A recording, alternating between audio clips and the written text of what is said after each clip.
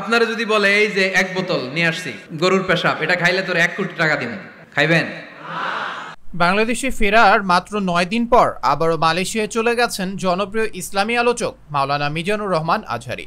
তবে দেশটিতে প্রবেশের সময় বিমানবন্দরের ইমিগ্রেশনে পুলিশ তাকে আটকে দেওয়ার খবর জানা যায়। পরে জিজ্ঞাসাবাদ শেষে দেশটির স্থানীয় সময় রাত দুইটার পর তার ইমিগ্রেশন সম্পন্ন হয়। ধর্মীয় আলোচক মাওলানা মিজানুর রহমান আজহারিকে মালয়েশিয়ার কুয়ালালামপুর বিমানবন্দরে আটকে জেরা করেছে দেশটির ইমিগ্রেশন পুলিশ। এমন একটি সংবাদ শুক্রবার দেশের বিভিন্ন গণমাধ্যমে প্রকাশিত হয়। প্রতিবেদনে বলা হয়, মালয়েশিয়ার পুলিশ হেডকোয়ার্টারে তার নামে অভিযোগ থাকায় তাকে বিমানবন্দরে আটকে দেওয়া হয়।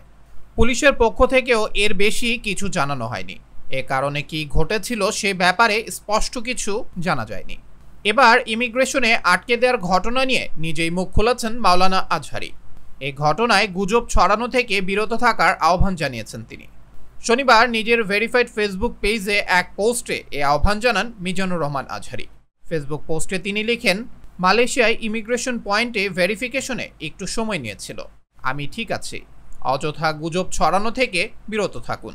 দীর্ঘ পাঁচ বছর পর সম্প্রতি মালয়েশিয়া থেকে দেশে ফেরেন মিজানুর রহমান আজহারি। তবে কয়েকদিনের মাথায় শুক্রবার ফের দেশ ছেড়ে মালয়েশিয়া চলে যান তিনি। আজহারিকে বহনকারী বিমান মালয়েশিয়ার স্থানীয় সময় সন্ধ্যা সাড়ে ছয়টায় কুয়ালালামপুরের আন্তর্জাতিক বিমানবন্দরে অবতরণ করে। এরপর তাকে বিমানবন্দরের ওয়েটিং রুমে নিয়ে যাওয়া হয়। সেখানে দীর্ঘ আট ঘণ্টা অবস্থান করেন তিনি। জানা গেছে, বিগত আওয়ামী লীগ সরকারের আমলে বাংলাদেশ হাইকমিশন থেকে আজহারির বিরুদ্ধে দেয়া অভিযোগ এখনও দেশটির ইমিগ্রেশন সার্ভারে রয়ে গেছে। এ কারণে তাকে আটকে দেয় পুলিশ। এর আগে এগারো অক্টোবর সকালে নিজের ভেরিফাইড ফেসবুক অ্যাকাউন্টে এক দীর্ঘ পোস্ট দিয়ে দেশ ছাড়ার ঘোষণা দেন জনপ্রিয় ইসলামী বক্তা মিজানুর রহমান আজহারি। ফেসবুক পোস্টে তিনি লিখেন, দেশে খুব লম্বা সময় অবস্থান না করলেও মাসখানেক পর আবারও ফিরব, ইনশাল্লাহ।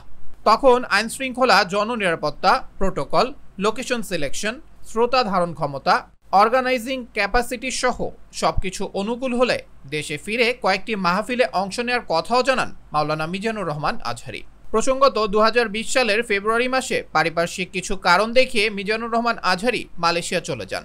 এরপর থেকে সেখানেই অবস্থান করছিলেন জনপ্রিয় ইসলামী এই বক্তা।